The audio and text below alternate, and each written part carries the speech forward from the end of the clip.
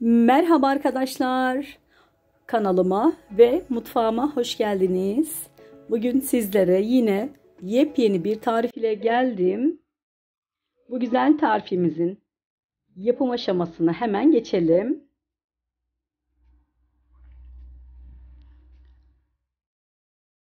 Öncelikle kayısılarımızı yıkayarak bu işleme başlayalım. Ben 2 kilo kayısı kullandım. Siz dilerseniz daha fazla ya da daha az kayısı da kullanabilirsiniz. Öncelikle kayısılarımızı güzelce tertemiz yıkayalım. Ben birkaç defa yıkadım. Sizler de mutlaka yıkarsınız zaten.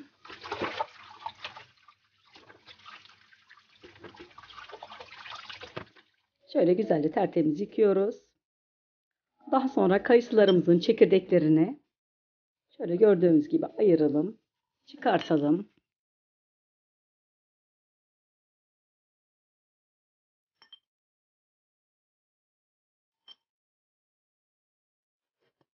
Bu arada olgunlaşmış kayısı kullanırsak daha lezzet verir. Buna dikkat edelim. Hamaksı olmamış ham bir kayısı olursa çok lezzetli olmaz. O yüzden olgun olması çok önemli.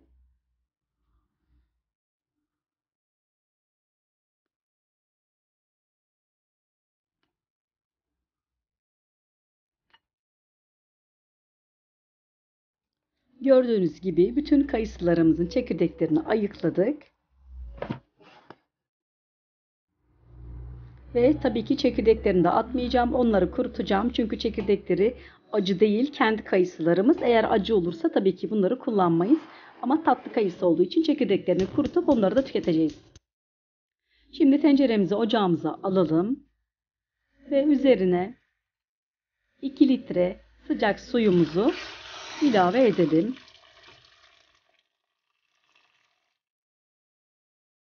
Ve kaynamaya bırakalım. Gördüğünüz gibi yavaş yavaş kaynamaya başladı ve üzerinde köpükler oluşuyor. Bu köpükleri mutlaka alalım.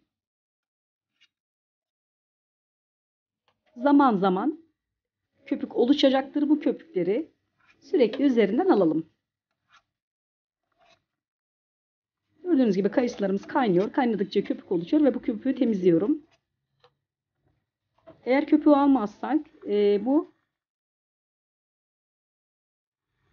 yapmış olduğumuz meyve suyu güzel olmaz. O yüzden mutlaka köpüğünü alalım. Daha berrak ve daha güzel olacaktır.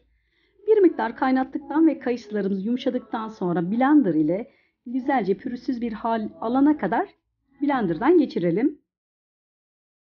Ben ocaktan almadan geçirdim. Siz dilerseniz tencereyi tezgahın üzerine kenara bir yere alıp da devam edebilirsiniz. Ama ben ocağın üzerindeyken blenderdan geçiriyorum.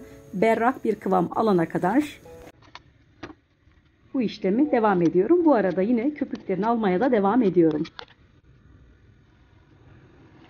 Ve şimdi 2 su bardağı toz şekerimi ilave ediyorum. 200 mg bardak ölçüm. Şöyle bir tur karıştırıyorum ve kaynamaya bırakıyorum tekrardan. Birkaç dakika daha kaynatıp gördüğünüz gibi hazır ve ocaktan alıyorum. Sıcak sıcak hiç soğutmadan temiz steril kavanozlarımın içerisine dolduracağım.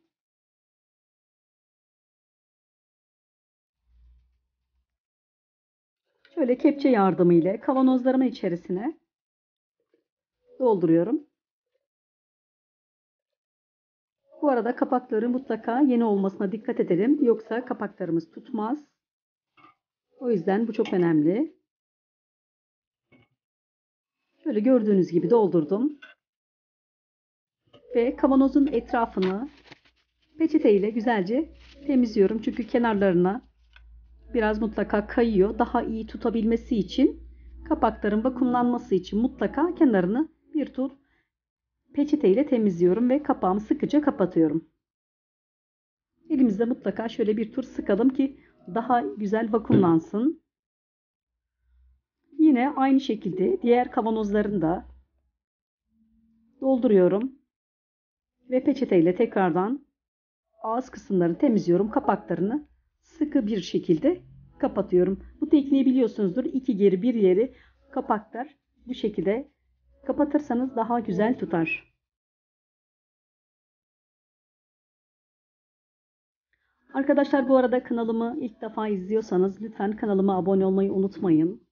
Beni hangi şehir ve hangi ülkeden izliyorsanız yorumlara lütfen yazarsanız çok mutlu olurum.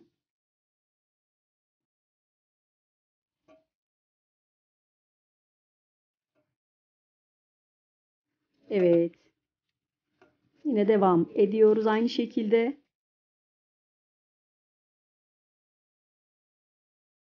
Tamamını bu şekilde kavanozlarıma dolduruyorum. Kapaklarını sıkıca kapatıyorum.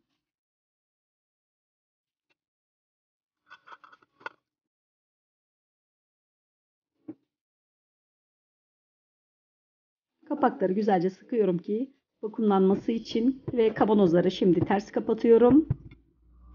Ve üzerlerine mutfak kablosunu kapatıyorum. Bir gece bu şekilde bekletiyorum. Ve ertesi günü kavanozlarımızı kaldıralım. Şöyle kapaklarını kontrol edelim. Kapaklar aşağı doğru çökmüş ise kapaklarımız tutmuş demektir. Eğer çökmediyse düz bombili bir şekilde duruyorsa bu kapak tutmamış demektir. Benim kapaklarım kontrol ettiğim kadarıyla e, çökmüş ve tutmuşlar. Mutlaka sizler de bu şekilde yapmanızı tavsiye ederim. Konsantre meyve suyumuz hazır. Doğal, ev yapımı, gönül rahatlığıyla tüketebilirsiniz. Mutlaka sizler de bu tarifi evde yapınız. Sağlıklı bir şekilde tüketiniz.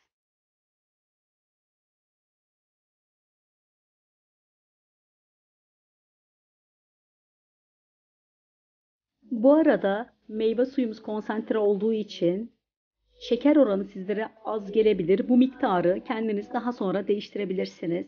Şeker ekleyebilirsiniz. Bu tamamen e, damak zevkinize kalmış. Ben şimdi e, kavanozun bir tanesini açıyorum ve şöyle sizlere de göstermek istiyorum. Bardağı doldurmak istiyorum. Bakınız şu güzelliğe, berraklığa. Bakar mısınız ne kadar güzel. Ben direkt e, kavanozdan döktüm. Tabii ki bunu hmm, konsantre olduğu için çoğaltarak da kullanabilirsiniz. Gördüğünüz gibi doğal ev yapımı mis gibi meyve suyumuz hazır. Sizler de kendi meyve suylarınızı kendiniz bu şekilde yapabilir ve gönül rahatlığıyla tüketebilirsiniz. Videolarımı izliyorsanız lütfen kanalıma abone olunuz ve yeni videolardan haberdar olmak için bildirim zilini açmayı unutmayın.